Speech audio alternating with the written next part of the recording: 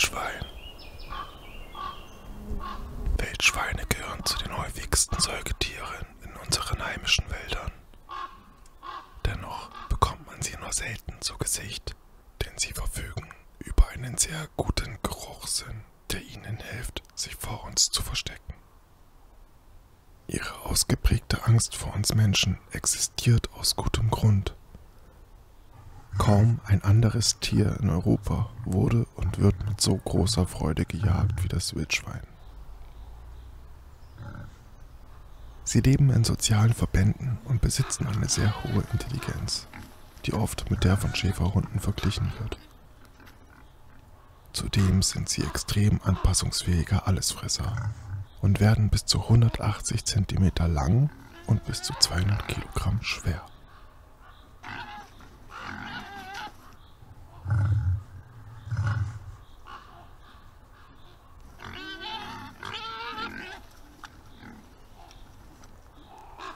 Am eindrücklichsten ist ihr typisch würziger Geruch.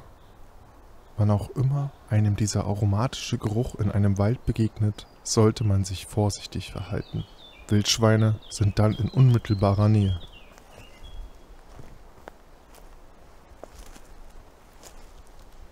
An Wildschweinlagerplätzen lassen sich außerdem sogenannte Mahlbäume finden.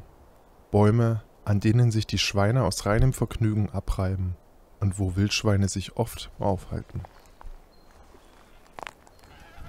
Tagsüber kann man als Waldbesucher aufgewühlte Waldböden sehen.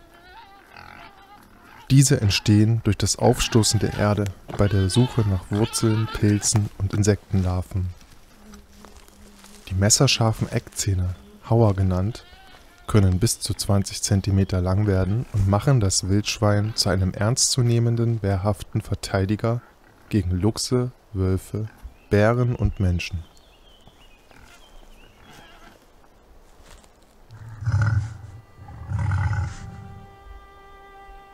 Von unseren Vorfahren wurden Wildschweine gleichermaßen gefürchtet und verehrt. Sie wurden als Krieger und Beschützer des Erdreichs angesehen und verkörperten Fruchtbarkeit, Mut und Stärke.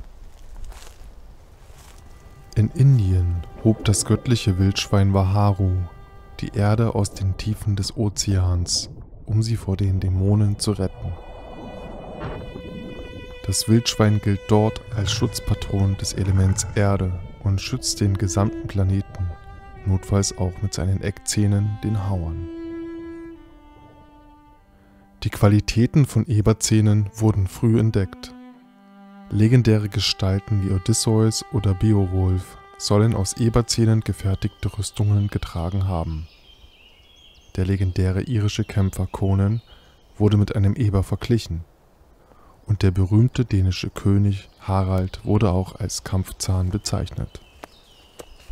Das Schwein war also durch und durch ein kultisches Tier, welches insbesondere für die Kriegerkaste von Bedeutung war dass auch die Germanen und Kelten einen Hang zum Wildschwein hatten. Dafür sprechen neben etlichen Ortsnamen wie Eberswalde, Ebersberg oder Ebersbach auch Individualnamen wie Ebo, Eberfell, Ebogrim, Ebohelm, Evers, Evermann oder Eberhard.